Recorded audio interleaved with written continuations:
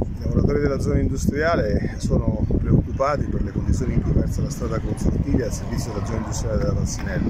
Una strada realizzata alla fine degli anni 80 del secolo scorso, dalla data della realizzazione praticamente non ha mai avuto un serio intervento di manutenzione.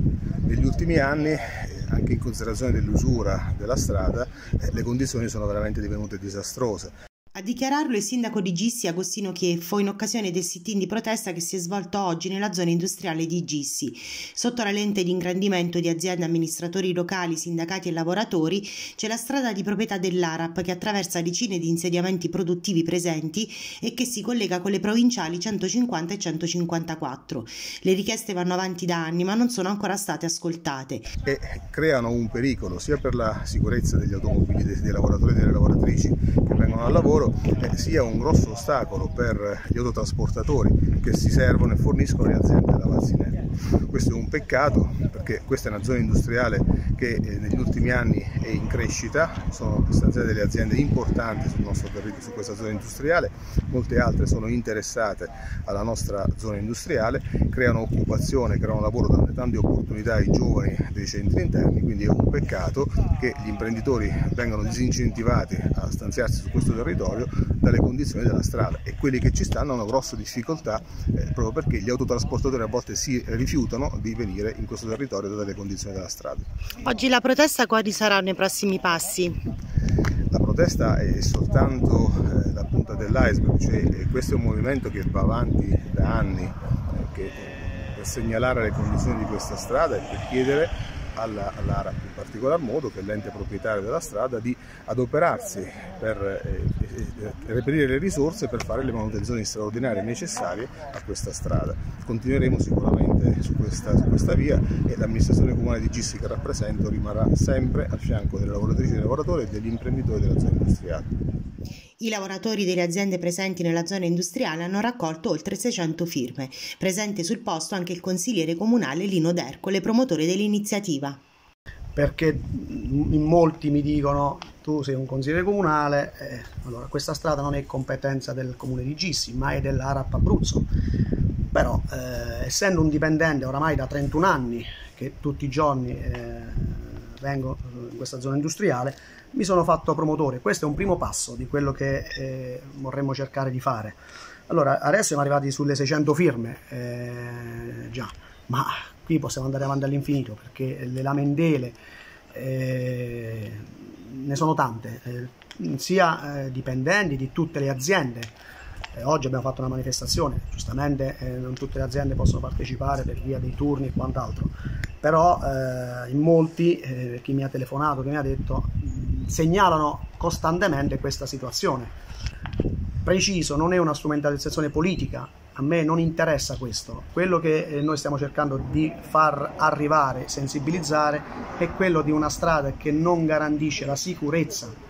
Noi tutti i giorni passiamo qui, la sera usciamo, specie nel periodo invernale con, con eh, il buio, non c'è l'illuminazione, dove c'è funziona a tratti, semafori non funzionano più, pensiline che sono rotte, eh, pensiline che si reggono con tre piedi. Le compagnie eh, dei trasporti si lamentano perché non hanno degli spazi adeguati per potersi accostare.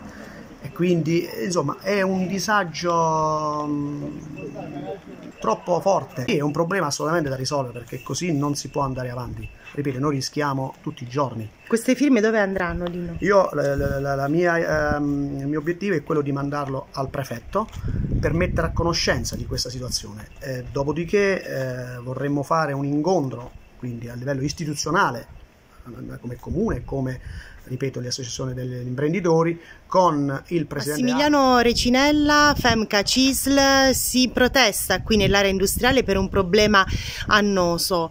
Ecco, avete anche raccolto delle firme, cosa chiedete all'ARAP? Allora, questo è un problema ormai che ha radici profonde. Purtroppo io sostengo che eh, siamo arrivati al fatto di di considerare che i lavoratori di questo territorio sono figli di un dio minore, eh, le aziende, le lavoratrici e i lavoratori hanno dei svantaggi, dei disagi a lavorare in questa zona industriale, uno dei, dei quali è il mando del, dell'asfalto che è arrivato in condizioni di indecenza, l'illuminazione che eh, visto e considerato che siamo d'inverno alle 4 di pomeriggio fa notte e quindi anche si genera un forte problema legato alla sicurezza. Eh, chiaramente sono problemi che stiamo denunciando già forse da più di 10 anni, siamo arrivati al momento che qualcuno li prenda eh, in considerazione e li risolva. A denunciare la situazione di degrado anche Enzo Mirolli, titolare della Mirolli SRL.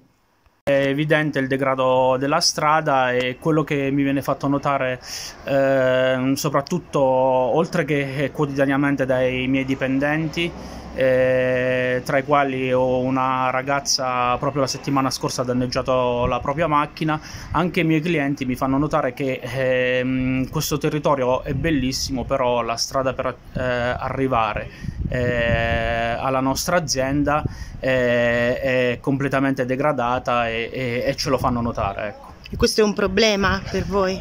Eh, per noi non è un problema perché per fortuna riusciamo comunque ehm, a, ad offrire un buon servizio e il territorio ci permette di attrarre eh, i nostri clienti che soprattutto quando vengono dall'estero vedono che eh, hanno piacere di venire qui perché il territorio ehm, eh, sappiamo tutti quello che, che ci offre e, e quanto è bello però ovviamente farsi notare con una battuta il degrado delle strade ti mette eh, in una eh, condizione mm, di disagio e di imbarazzo. Quindi mancano infrastrutture e servizi?